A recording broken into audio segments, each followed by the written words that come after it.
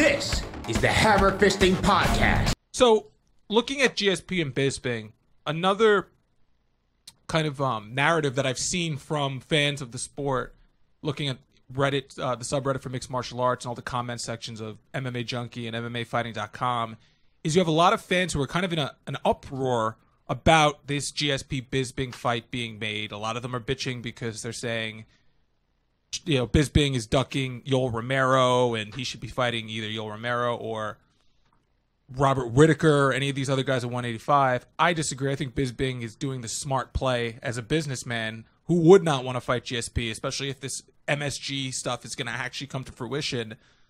But let's look at both sides of the coin. They're saying that WME IMG is just making money fights and it's become, and this is an over exaggeration, WWE. It's not about the best fighting the best.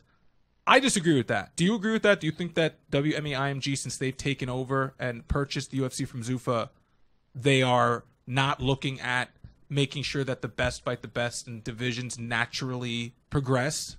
I mean, I haven't seen it to the point where I'm, uh, it's like, oh, here's clearly what's going on. I mean, they're putting to this. It, it was always supposed to be the fight the fans want to see. So all these people complain. They're just the the the, uh, the loud like minority. Nope, whatever. Um, Shannon caught it a little bit. Uh, fuck me. I, I threw myself totally off my my case. What, what the hell are you just talking about? You're talking about Jesus how, Christ. how people are complaining. How does that happen that- to me? yeah.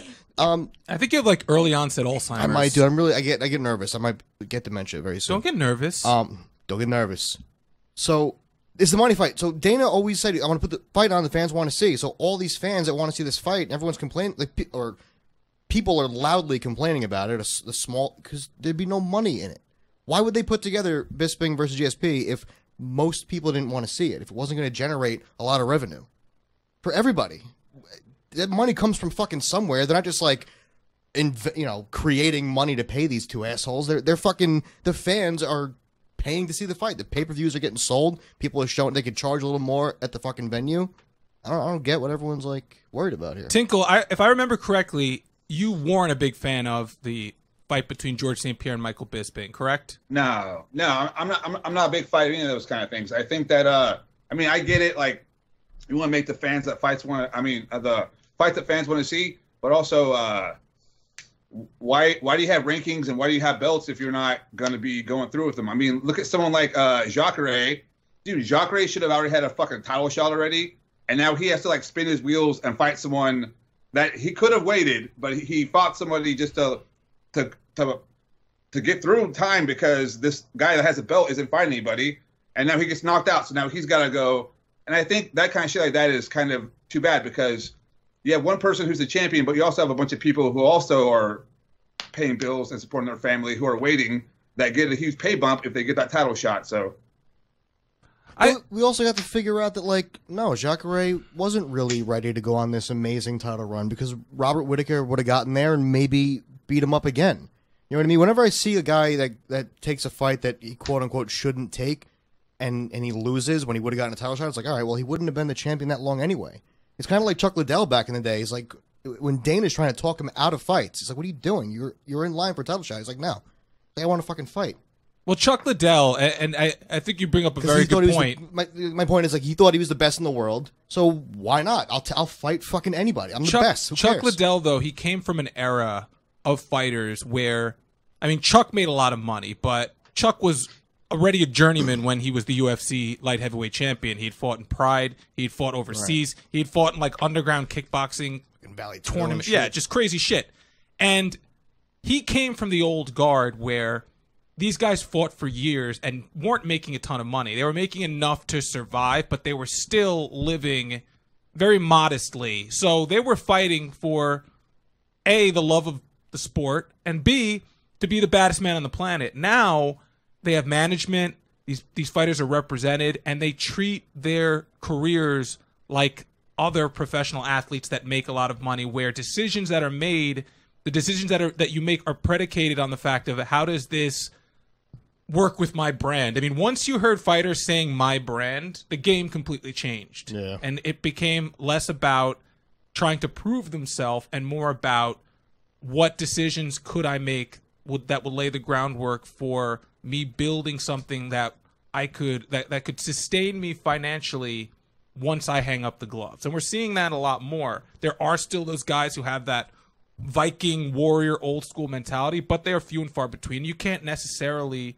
blame them. That's why when you look at Bisping versus GSP, anyone who's bitching and moaning and complaining and saying that Michael Bisping is ducking Yoel Romero, that's total bullshit, man. Michael Bisping fought Dan Henderson when Dan Henderson was just the destroyer of worlds on the biggest card, at least to date back then, UFC 100. He paid the price later on, avenged that loss. But you look at the career of Michael Bisping, he's taken on all comers. The guy does not duck people. Just now, he's got the belt. He fought Luke Rockhold on two weeks' notice. A Luke Rockhold that everyone was like, this guy is the one of the pound for pound best in the world. He's going to hold on to a, the belt for a long time.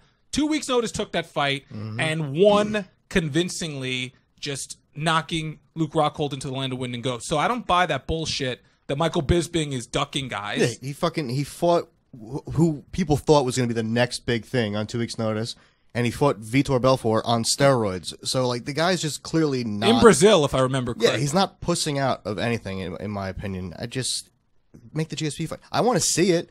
I mean, if you ask me, like, what, what do you want to see more, Whitaker versus Bisping or GSP versus Bisping? Like, as you know, in terms of like rankings and everything, like how it should kind of go. I want to see Whitaker. I'm, I'm really interested in that fight. But fucking GSP is interesting too. I don't know. Like, GSP was the most dominant champion of his era and his, in his reign. Him and Anderson were neck and neck, but when GSP walked away from the sport, it was a controversial loss. I mean, win over Johnny Hendricks. A lot of mm-hmm. people felt Hendricks won that fight. Doesn't matter. It was that close where, even though GSP's face looked like fucking hamburger meat, it was that close when you look at the unified rules of mixed martial arts where you can't say that it was a complete highway robbery. So you have the effective or de facto, whatever you want to call it, welterweight champion moving up in weight and fighting Michael Bisping. I mean, that's not the worst thing ever. A fight that I would love to see, but if it was made as opposed to George St. Pierre versus Bisping, if it was made, I would understand that if people had an outcry was if if Michael Bisping fought Nick Diaz. I think that'd be an amazing fight. Diaz has fought at middleweight before. Yeah. Both guys like to strike. Both guys have cardio for days. Both guys can talk mad shit. Mm-hmm. It would be a stellar fight. But if that fight was made, I would be like, all right, this is kind of bullshit. I can Yeah. see why the fans and other fighters in the division are pissed off. But come on, I mean, GSP really, the guy is a stud athlete.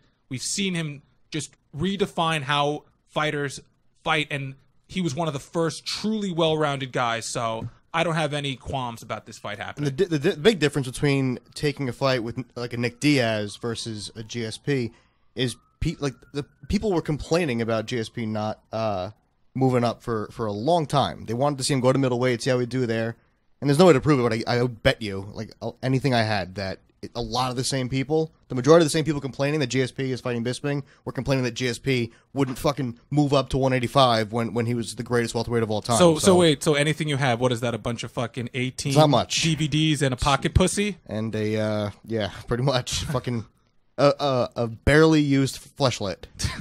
Ugh.